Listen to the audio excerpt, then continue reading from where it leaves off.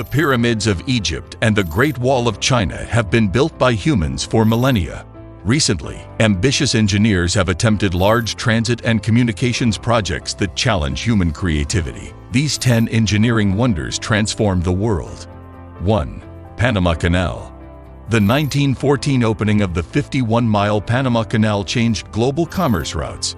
In 1904, the U.S. resumed building after the French failed in 1880. Chief Engineer John Stevens changed the project from a sea-level canal to one that required locks and damming the Chagres River to create the world's largest man-made lake. According to the Panama Canal Museum, workers displaced enough earth and rubble to bury Manhattan 12 feet as they cut the canal through jungles and mountains, fighting landslides and tropical maladies like malaria and yellow fever. Between 1904 and 1913, 10% of the 56,000 project workers died. The greatest feat, the International Ship Channel was finished on time and on budget.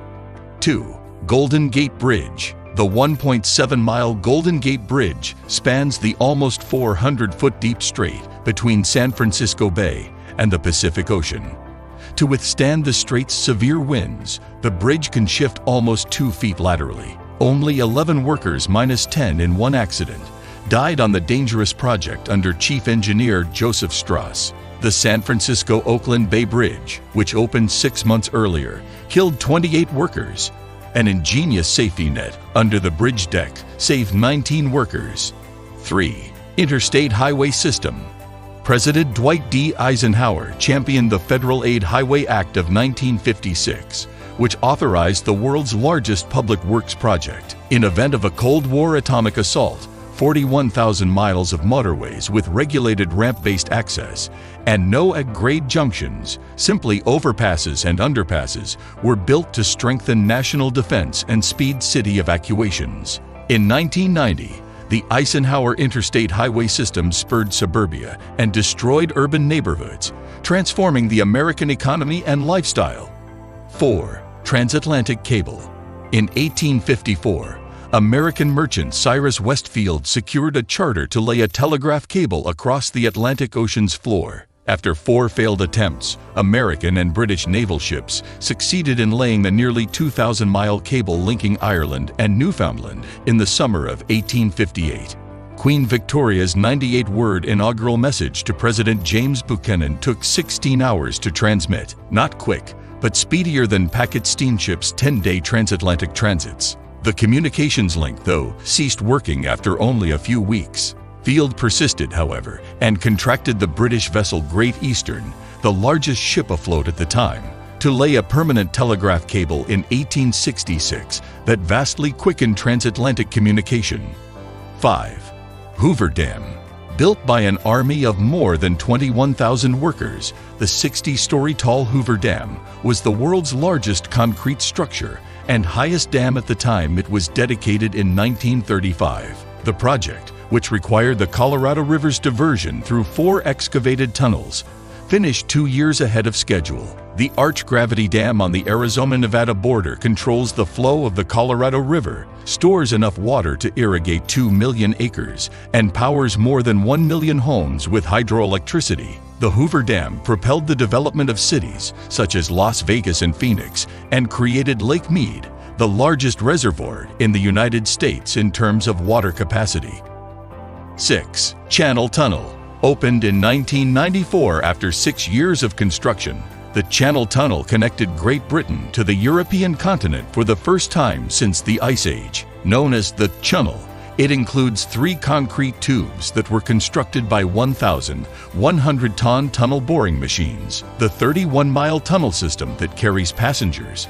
Freight and vehicles includes a 23-mile underwater stretch, the world's longest, with an average depth of 150 feet below the seabed. The tunnel has allowed passengers on high-speed Eurostar trains to travel from London to Paris in little more than two hours.